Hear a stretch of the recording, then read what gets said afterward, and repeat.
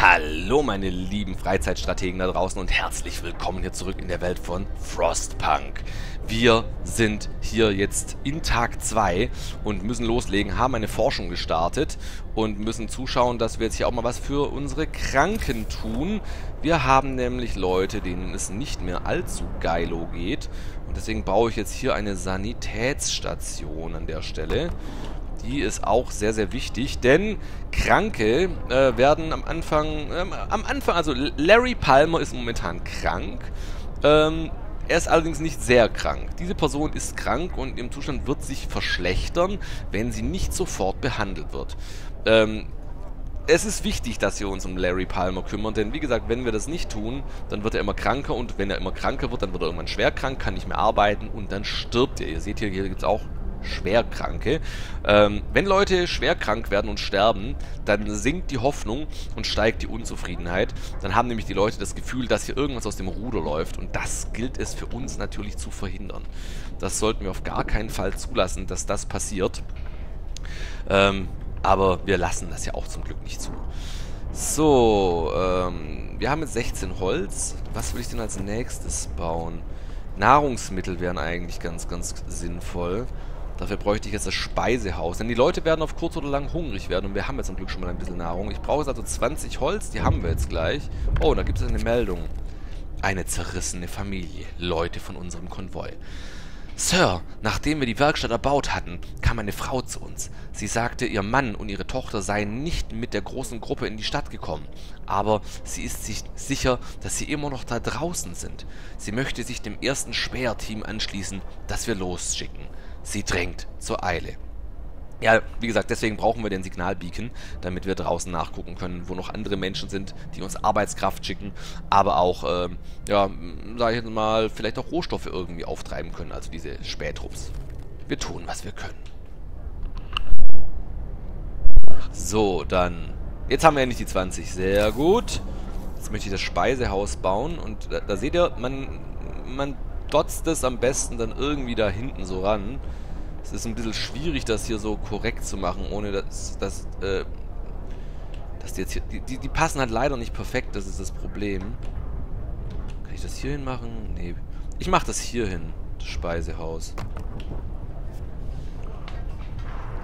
Man muss halt entsprechend planen, ne? weil die Häuser halt leider nicht alle gleich groß sind. Das Speisehaus ist mir an dieser Stelle wichtig und ich möchte gleich jetzt auch dafür sorgen, ähm, Jetzt kommen wir wieder zu einer wirklich moralischen Entscheidung. wir können jetzt das Gesetz erlassen, um mehr unsere Nahrungsmittelvorräte zu strecken. Suppe. Wir können Suppe anstelle von richtigen Mahlzeiten zubereiten, um mehr Menschen mit derselben Menge an Rohnahrung zu, zu ernähren. Äh, nach Einführung dieses Gesetzes kann nach null Tagen äh, ein weiteres Gesetz verabschiedet werden, also nach 18 Stunden. Neues Rezept Suppe im Speisehaus verfügbar. Das Geile ist, es wird dann per Default schon vorausgewählt, also man muss es gar nicht selber machen. Ähm, Effekt ist, die Hoffnung sinkt äh, die Unzufriedenheit steigt und das Essen der Suppe wird Unzufriedenheit hervorrufen. Also die Leute, jedes Mal, wenn sie die Suppe essen, also einmal am Tag, werden unzufriedener. Dagegen muss man natürlich vorgehen, aber dafür haben wir natürlich auch eine Möglichkeit. So, dann haben wir hier die Alternative. Statt äh, Suppe zu machen, Zusatzstoffe. Schön, dass es so dran steht und nicht in Anführungszeichen.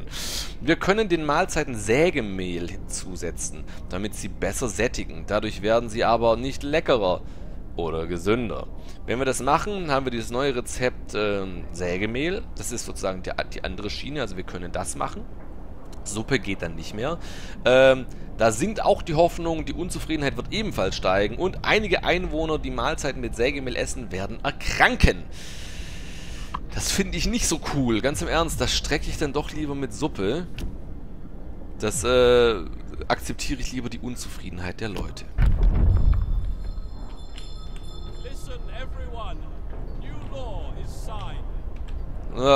Ja, das neue Gesetz wurde unterzeichnet, also in dem Fall von uns. Und ihr seht jetzt, jetzt bauen wir hier unsere Suppenküche oder in dem Fall halt das Speisehaus, was wir im Grunde jetzt zu einer Suppenküche machen. Aber hier bauen sie immer noch gewaltig ab. Beschleunigen wir das Ganze mal. So. Fertig ist es. Und da seht ihr jetzt ja, die Suppe ist jetzt hier schon vorausgewählt. Und jetzt aktiviere ich und es werden hier 50 Suppen pro Stunde produziert. Na, jetzt wird hier oben aus der Rohnahrung hier die richtige Essensration gefertigt. Das ist schon mal wichtig. Und das Gute ist halt auch, also wichtig übrigens auch bei dem Gebäude ist, es braucht eine gewisse Mindestwärme, damit ich das Ding überhaupt betreiben kann. So, wir haben die Signalstation erforscht und warte mal, das heißt, wir müssen jetzt allerdings sofort wieder was Neues forschen. Ich bin der Meinung, dass es äh, sinnvoll sein könnte, jetzt erstmal hier das schnellere Sammeln zu erforschen. Das finde ich eigentlich ganz, ganz gut. Dann können die Leute nämlich die Sachen, die wir brauchen, schneller also herschaffen. Ähm, wo ist jetzt hier die Signalstation? Dafür brauche ich nochmal 20 Holz. Die fehlten mir jetzt momentan. Ähm, also beschleunige ich das Ganze, bis wir die 20 Holz haben. Wichtig übrigens, oh, Nahrungsmittel. Der Generator summt mit beruhigender Wärme, aber wir sollten das nicht als selbstverständlich ansehen. Wenn der Generator ausfällt, stirbt die Stadt sie achtsam, äh, sei achtsam mit dem äh, Kohlereserven. Kümmern wir uns jetzt um Nahrungsmittel. Es wird keine Stadt geben, wenn wir verhungern. Finde einen Weg, Rohnahrung bereitzustellen und baue ein Speisehaus, um die Mahlzeiten zuzubereiten. Ja, das machen wir schon. Hier ist noch so ein leichtes Tutorial im Grunde mit dabei. So, und jetzt haben wir wieder hier Schichtende. Das bedeutet, dass wir jetzt hier äh, wieder kein Holz produzieren, hypothetisch. Aber wir haben ja immer noch hier die 24-Stunden-Schicht am Start. Also vielleicht generieren wir ja noch die äh, entsprechenden nötigen Holzmittel. Ne, tun wir leider nicht. Das ist ärgerlich. Ja, und was übrigens ganz, ganz wichtig ist in diesem Zusammenhang... Oh, da kommt was. Dach über den Köpfen. Captain. Die Einwohner sind selbstverständlicherweise besorgt über den Mangel an Unterkünften. Bei dieser entsetzlichen Kälte im Freien schlafen zu müssen, macht sie krank. Wir sollten etwas unternehmen. Ja, und jetzt kommen wir an den Punkt, das sind sehr, sehr entscheidende Momente im Spiel, wenn wir solche Entscheidungen treffen müssen. Und zwar, wir können jetzt einfach sagen quasi, ich kümmere mich da nicht darum, die Unzufriedenheit wird dadurch ansteigen, wenn ich sage, ich mache das nicht. Wenn ich äh, allerdings sage, ich werde für einige Leute Unterkünfte äh, bereitstellen, dann habe ich zwei Tage Zeit, um 25 Einwohnern eine Unterkunft zu bieten. Das bedeutet, dass ich drei Gebäude bauen muss, weil in jedes Gebäude zehn hineinpassen und in dem Fall halt drei Zelte. Ähm, dann, äh, wenn ich das schaffe, dann gibt es äh, allerdings auch einen kleinen Hoffnungsboost. Wenn ich sage quasi, dass, hier, äh, dass ich für alle was bereitstelle, muss ich für 50 Leute äh, Gebäude bereitstellen. Ähm, das mache ich an der Stelle nicht, weil ähm, es würde zwar einen guten Hoffnungsboost äh, bringen, aber äh, wenn ich es nicht schaffe, dann ist das ziemlich hart. Deswegen mache ich lieber das hier. So. Und ich würde sagen, dass wir momentan damit noch kurz warten. Ich möchte... Ah, da ist der, der Scheiß hier immer noch im Weg. Das sind immer noch 83 Holz. Ich schicke dann noch zusätzliche Arbeitskräfte hin, um das hier so schnell wie möglich abzubauen. Was ist jetzt hier los? Die Weisheit der Menge. Ein Ratschlag vom Spiel insgesamt. Captain, wenn Forderungen gestellt werden, denken Sie daran, die Leute suchen meist die schnelle Lösung, nicht die beste. Sie müssen nicht jede Bitte erfüllen. Wenn Sie das Problem auf Ihre Weise lösen, ist das in Ordnung. Ja, also ich werde das im Hinterkopf behalten. Äh, Im Grunde heißt es eigentlich nur, äh, man muss nicht immer tun, was die Leute wollen. Ähm, es geht hier einfach nur sozusagen um die Balance der Zufriedenheit, sage ich jetzt mal. Warum will ich jetzt hier gerade eben äh, dieses Ding hier weghaben? Weil ich die Straße hier bis an den Rand machen will. Ich will jetzt so eine klare Straßenführung haben. Ich glaube, das hilft mir im Spiel später weiter. Ähm, äh, einfach um eine klare Straßenstruktur zu haben. Das hilft so ein bisschen beim Plan. So, jetzt wird hier erstmal... Bö, bö, bö.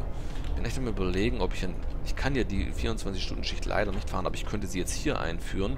Da geht es natürlich die Unzufriedenheit wieder hoch, aber es ist mir egal. Hauptsache, die bauen jetzt hier diesen Scheiß ab und ich kann hier dafür sorgen, dass hier weitere Zelte gebaut werden. Ähm, das mache ich jetzt auch. Zelt Nummer 1 wird jetzt hier schon gemacht. Ich möchte die Aufgabe hier jetzt gleich gemacht haben, damit ihr äh, auch seht, was das für einen Effekt hat mit der Unzufriedenheit und mit der entsprechenden Hoffnung. Ähm, ich könnte... Ja, durch die 24-Stunden-Schicht sind wir das eigentlich momentan sehr, sehr nobel aufgestellt, muss ich ganz ehrlich sagen. Ich plane übrigens hier gezielt... Äh... Ja, das mache ich so. Oder? Hier ist halt auch eine Straße. Ne, ich mache das so. Ich mache hier noch ein, ein Haus hin. Und dann hier noch und dann habe ich eigentlich auch ausreichend. Ich muss hier wahrscheinlich noch eine Straße rumführen. Das Problem ist, dass jedes Gebäude eigentlich mit einer Straße irgendwie gesegnet sein muss, sonst funktioniert das nicht richtig. Das Gute ist übrigens, ne, die Leute laufen nicht wirklich hin und her, um diese ganzen Ressourcen zu sammeln. Es reicht einfach, um man sie, dass man sie hinschickt und dann machen die das schon von alleine. So, jetzt können wir mal beschleunigen, um die Nacht rumzubringen. Dann haben die höchstwahrscheinlich das hier dann auch schon fast komplett abgetragen. Ihr seht, wie schnell das geht jetzt hier mit so einer Nachtschicht. Das geht dann ordentlich trilli-pampi.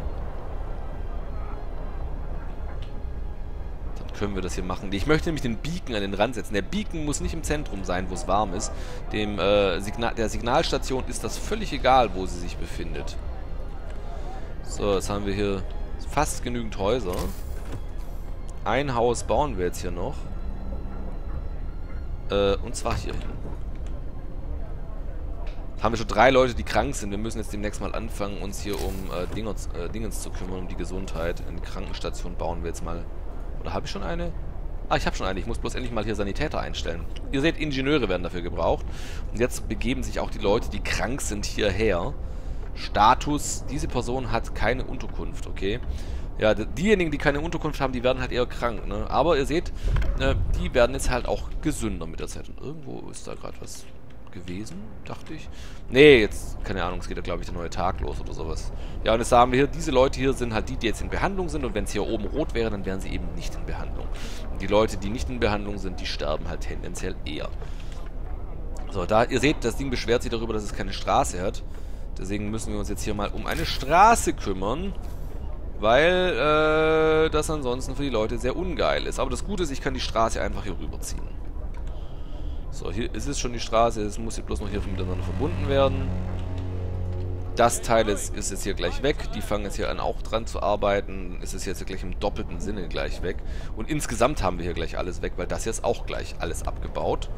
Das heißt, für uns wird es interessant, jetzt äh, auch mal den Fokus auf das hier zu setzen. Und aus diesem Grunde habe ich mir gedacht, äh, ziehen wir mal schon mal eine Straße hier rüber. So. Ich verbrauche hier natürlich einen Arsch voll Rohstoffe, um das zu realisieren, aber mir ist das lieber so als anders. So, hier, hier ist es rot, da kann ich es nicht reinmachen, wie ihr seht. Da bin ich jetzt hier an der Straße dran. Und hier erreiche ich auch alles, was ich will, also baue ich das Teil dahin. Und den hier kann ich jetzt hier demnächst abreißen. So, da sind noch 10 drin. 9. Das Haus hier hat immer noch keinen Straßenanschluss. Äh, Warum auch immer. Die bauen das hier irgendwie gerade eben nicht. Wahrscheinlich fehlt mir einfach hier sozusagen der der Bereich, wo ich das machen kann. Wir könnten nochmal ein weiteres Gesetz machen. Ich möchte jetzt hier die Kampfarenen machen. Warum will ich die Kampfarenen machen? Kampfarenen sind erstmal blutig und grausam auf den ersten Blick, aber ihr seht, was der Effekt. Nichts baut besser Spannung ab, als bei einem heftigen Schlagabtausch zuzuschauen. Ähm, ist in der Zeit übrigens damals üblich gewesen, ne? Also diese typischen Faustkämpfe, wer kennt sie nicht sozusagen, vielleicht aus den alten Comicfilmen und so weiter und so fort. Ähm, neues Gebäude, Kampfarena kann ich dann bauen. Abendkämpfe verringern die Unzufriedenheit, also die Leute werden dann zufriedener. Du musst eine Kampfarena bauen, das unterzeichne ich. So, und deswegen habe ich hier auch ein bisschen Platz gelassen. Denn jetzt kann ich hier in diesem Einflussbereich, wie ihr seht, hier alle Leute werden hier vom Vorteil der Kampfarena beglücket. Äh, und dadurch wird meine Unzufriedenheit am ehesten sinken. So, ist das Teil jetzt hier endlich mal weg. Noch zwei. Wie gesagt, ich möchte die Straße ja hier weiter fortführen. So, jetzt ist das Teil hier weg, endlich. Ich kann die Straße hier weiter fortführen. So, bis hier würde ich mal sagen. Oder komm, wir machen es bis zum Ende durch. Das gönne ich mir wenn das jetzt hier gleich fertig ist, dann können die Leute hier gleich auch wieder arbeiten. Wie schaut es hier aus? Ah, wir haben jetzt übrigens ein Nahrungsmittelproblem. Wir haben jetzt 170 Nahrung, Essensration, allerdings keine Rohnahrung mehr. Ähm, das heißt also, wir sind jetzt momentan für eine gewisse Zeit gut aufgestellt. Ewig wird das allerdings nicht halten. So, jetzt sind auch die Stahltrümmer erschöpft und es dauert nicht mehr lange, jetzt ist auch das hier erschöpft. Jetzt gibt es hier nichts mehr, jetzt kann ich das Ding hier abreißen. Also demontieren in dem Sinne. Und als nächstes kommt jetzt die Signalstation. Dafür fehlt mir alles noch ein bisschen Holz. Zwei Stück. Die haaren wir kurz mal aus. So, schnelleres Sammeln wurde erforscht. Eigentlich sollten wir jetzt sofort forschen, aber ich möchte die Signalstation vorher bauen. Das ist jetzt gerade eben eine ungeile Situation. So, jetzt, warte mal, das ist kein Problem. Wir haben jetzt gerade eben sogar noch mehr bekommen, als wir eigentlich ursprünglich gewacht haben. So, zehn Stück für Ausrüstung für Jäger. Wobei, das bringt mir momentan noch nicht viel. Heizkörper Äh, nee, das bringt mir alles gerade eben gar nichts. Ich möchte das Sägewerk erforschen. Das wird mir wichtig werden. Und jetzt kann ich hier die Signalstation hinmachen. Wie gesagt, am Arsch der Welt interessiert die mich kein bisschen. Äh, die braucht nämlich keine Heizung, wie gesagt. Das hier wurde abgebaut, deswegen habe ich hier noch mal ein paar Ressourcen bekommen. Wie sieht es hier aus? Hier habe ich noch genügend Kohle am Start. Die Kohle, wie ihr auch seht, ist gar kein Problem. Man kann hier, wenn man auf diesen Generator geht, schauen, wie der, der Diskrepanz ist zwischen Verbrauch und das, was wir sammeln. Also wir sammeln deutlich mehr, als wir verbrauchen. Da stehen wir wirklich gut da. So, jetzt können wir hier weiter sammeln. Die arbeiten jetzt hier. Hier schneit es übrigens relativ schnell wieder zu, wie ihr seht. Das ist schon ziemlich krass. Und jetzt müssen sie nur noch die Kampfarena bauen. So, und die Hoffnung steigt dadurch leicht. Und ihr seht, die Unzufriedenheit sinkt. Sehr, sehr gut. Und warum habe ich jetzt eigentlich immer noch hier dieses Problem, dass die hier, so wie es aussieht, das ja nicht hinkriegen? Ich weiß nicht, was das Problem ist. Ich habe keine Ahnung, aber... Ich würde mal sagen, wir machen das stumpf. Achso, ich habe kein Holz. Das ist natürlich saublöd. Jetzt habe ich wieder Holz. Arbeiten die jetzt hier da daran? Irgendwie gilt das anscheinend hier nicht. So. Vielleicht reicht das jetzt, wenn ich das hier so gemacht habe. Signalstation gebaut. Sehr gut. Jetzt brauche ich 40 Holz. Aber es gibt erstmal hier so ein kleines äh, Einspielvideo. Und jetzt brauche ich 40 Holz, warum auch immer, um eine entsprechende Ex einen Expeditionstrupp auszustatten. Das ist scheiß teuer, aber es lohnt sich.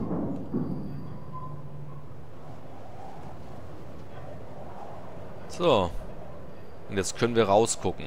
Also wir sehen, das, der, der, der, der ist deswegen wichtig, weil die Leute jetzt wieder zurückfinden. Ohne diesen Beacon, ohne diesen Signalballon würden sie niemals wieder zurückfinden. So sehen sie es. Das ist im Grunde so eine Art äh, Leuchtturm. So, ihr seht jetzt, ich könnte jetzt hier so eine Truppe ausheben. Allerdings äh, brauche ich dafür 40 Holz. Die habe ich momentan nicht. Versprechen gehalten, Schutz vor Wind und Wetter. Sauber. Jetzt haben wir hier die durchgehende Straße. Ihr seht also, man muss halt immer so komische durchgehende Straßen machen. Warum das so ist, weiß ich nicht.